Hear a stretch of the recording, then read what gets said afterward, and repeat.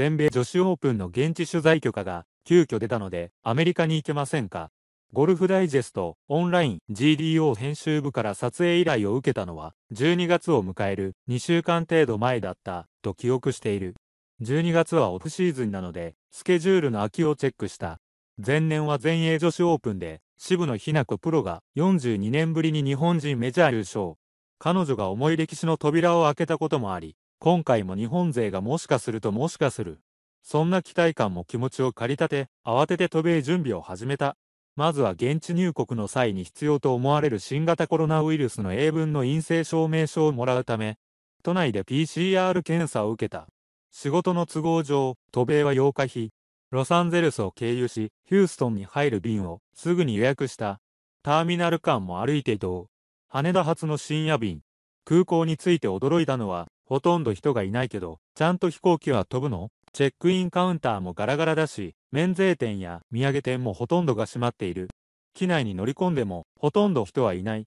後方の座席だったが、10列前まで空席の状態だ。飛行機をよく利用するゴルフトーナメントのカメラマンになり、数十年が経つ。さすがにこんな状態の機内の飛行機に乗るのは初めてだった。空港に到着。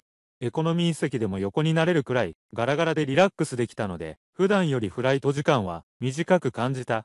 アメリカへの入国といえば大行列でとにかく時間がかかるイメージだが、列に並んだのはたった数分だった。6フィート2メートルのソーシャルディスタンスを保つよう促す看板もある。入国管理官の質問がいつも以上に厳しく感じたのは、この時期に観光で入国する人は少ないためだろう。何しに来た？何日滞在する？ホテルはどこだ？ビザはあるか？帰りの航空券を見せろ。矢継ぎ早の質問に対し、早の質問に対し、全米女子オープンの撮影だと説明して、無事に入国した。ここからはヒューストンへの乗り継ぎだ。荷物をもう一度チェックインカウンターで預け、ターミナル間の移動になる。広大なアメリカの空港では、ターミナル移動に列車やシャトルを使うのが普通。ただ、コロナ禍で列車やシャトルは運休しており、仕方なく20分ほどの道のりを荷物を持って歩いた。便等検査は痛いのか。ヒューストン空港への到着は夜中。翌朝には試合会場から近いホテル内で PCR 検査を受けた。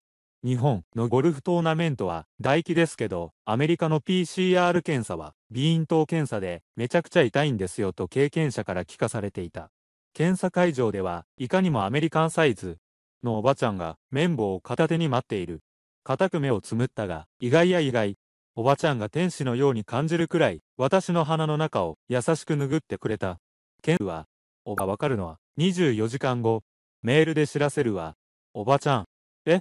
初日のスタートに間に合わないんですけど、そんなことを思いながら、ホテルで待機するしかないか、と来たる初日に向けて、しっかりと体を休めた。大会初日を迎えた日の午前4時、メールの着信音で起こされた。陰性と英語で書かれた証明書がメールに添付されている。PCR 検査の結果が思ったよりも早く送られてきた。第1組のスタートから撮影できると分かり、めちゃくちゃほっとした。駐車場から会場に移動するシャトルでも、隣の席を空けなくてはならず、ソーシャルディスタンスの確保が徹底的になされていた。会場内にあるメディアセンターに到着すると、受付でメディアキットと呼ばれる手土産が全米ゴルフ協会、薄賀から渡された。大会によっては、ポロシャツなどが配られるため、期待していた。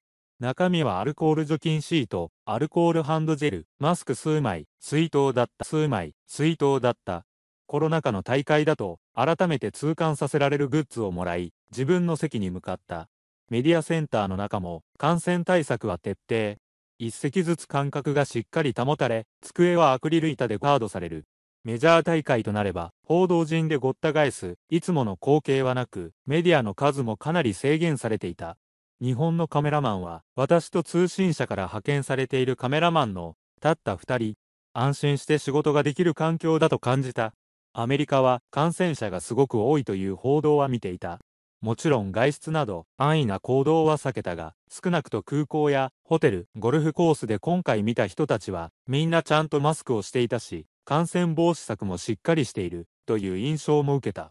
2コース36ホールに19人ってとにもかくにも、一番の懸念材料は、予選ラウンド、2コース36ホール、日本人選手、過去最多の、弱初日マンの意地と言いますか。とにかく初日は、19人全員取ってやる。ってなるもんなんです。なんとか19人を取り切った、というか抑えた、という表現が正しいかもしれないが、全組ホールアウトした頃には、チャンピオンズ GC、真っ平らなコースで、ありがとう、と心で叫んでいた。初日、渋野プロが2位スタートを切った。そして2日目を終えて首位に浮上。9人の日本人選手が予選通過し、これは決勝ラウンドも走り回らなきゃ。メジャーの舞台でたくましく好プレーを繰り広げる日本のプロたちは嬉しい悲鳴を上げさせてくれた。渋野プロは貯金を生かして3日目終了時点でも首位を堅守した。最終ラウンドは予定する13日、日はライオン接近の予報、順延もあり得るか。そんな懸念を頭に入れながら、運命のラスト18ホールに備えていた。スマホがないと入国できない。コロナ禍の全米女子オープン撮影期後編。渋野日向子プロが、渋野日向子プロが単独トップで迎えた最終ラウンド。雷雲接近の予報通り、未明から雲が空を覆っていた。何が起きるかわからないから、いろいろな可能性を想定しておこう。13日日のコース到着後は、雲の動きを見ながら、撮影の準備を始めた。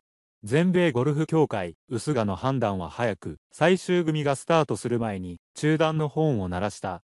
まだ雨が降る前で、ラインもない。ただ、薄賀が参考にする、正確に雷雲の動きをチェックする天候予測のデータは、見事なまでに正しかった。すぐに大雨が降り、遠くで雷の音が聞こえてきた。順延が良い休養になれば、複数の組が手を付していたが、試合は再開されることなく、昼過ぎには翌日への順延が決まった。第3ラウンド終了後の前日は、居残り練習を最後まで続けていた渋野プロ。この日は、キロに着く時に、お疲れ様でしたと、元気よく挨拶した多くのラウンドを重ねてきた疲労感はどうなのだろう。順延が良い休養になるといいな、と思った。メジャー大会では、順延の可能性を踏まえて、週明けの火曜日に帰国便を予約する報道陣が多い。スムーズに試合が終わり、月曜日は現地球になってしまうケースがほとんどだが、今回は違う。改めて最終ラウンドに向けて気持ちを引き締め直した。玄関の中、シャッターを切れるだけ切った。翌朝のヒューストンは真冬の厳しい寒さに襲われた。前日までと比べ10度以上気温は低く、持ってきていた服を重ね着した。最終組から出た渋野プロについて歩き、シャッターを切れるだけ切った。最後の最後までもつれた優勝争いを制することはできなかった。もちろん優勝を期待していたし、優勝を勝ち取れる選手だったと思うだけに、悔しさはあった。ただ、初出場の全米女子オープンで単独4位。しかも最終ラウンドのバックナインまで優勝争いのバックナインまで優勝争いを繰り広げた。これがどれほどすごいことか。無観客試合ではなかったら、勝っていたのかもしれない。たらればを言い出したら、キリがないが、何よりも日本選手のメジャー優勝の可能性を感じながら、18ホールの撮影をさせてもらえたことに対して、プロへの感謝の気持ちが大きかった。一時帰国ですか？いやいや、翌日の火曜日に帰国の途へ。帰りも同じく、ロサンゼルスを経由して、羽田空港へ。日本からの国際線は、ガラガラだったと前編で記したが、国内線は、アメリカでも Go、トゥートラベルをやっているのか、と思うほど混雑していた。相変わらずロサンゼルス空港でターミナル間のシャトルは動いておらず、20分以上歩いて国際線ターミナルに移動すると、案の定、国際線ターミナルはガラガラだった。これだけ人が少ない状態でも、飛行機を運航してくれるおかげで、アメリカに来て撮影ができた。航空会社への方々には、頭の下がる思い登場すると、やはり空席ばかり。見える範囲には、片手で数えられるくらいの人しかいなかった。加算からは、一時帰国ですか？と声をかけられた。アッピやヒューストンで数日間仕事があって、これから日本に帰りますと返した。アメリカ在住の日本人が一時帰国で使う。今は多分それくらいしか国際線の利用者がいないのだろう。結果発表にドキドキハラハラ。無事に羽田空港に到着。空港では唾液による抗原検査があった。その前に日本での滞在先や2週間の自主隔離期間中に過ごす場所などを入力するアンケートに答える必要があるのだが、アンケートは QR コードで読み取ってスマートフォンで対応する。まさかスマートフォンを持っていないと入国できないのか？と軽い疑問も湧いたが、とりあえず自分の情報を入力した。その後の検査で自分の番号のシールが貼られた検査キットをスタッフに手渡すと、陰性の方は番号でお渡すと、陰性の方は番号でお呼びしますと言われた。1時間以上はかかるだろうと覚悟していた検査結果は、意外にも30分程度で出始めた。自分の番号は40番、なぜか一気に39番までが LED ボードに映し出され、陰性が伝えられていた。もう、本当に、そういうのやめて。自動車免許の合格発表を思い出す。ドキドキハラハラしながら数分間を過ごすと LED ボードに40番が示されて晴れて帰国。スーツケースをピックアップして空港の到着口へ向かった。会場にはドラマが詰まっていた。空港の駐車場に止めておいた自家用車で帰宅へ公共交通機関は使えない。これから2週間の自主隔離ということは大晦日まで。これが2020年の仕事納めかと、この1週間を振り返りながら車を走らせた。メディアセンターではまた韓国人選手が優勝したという声が上がっていたが、日本でも黄金世代も黄金世代やミレニアム世代が台頭している。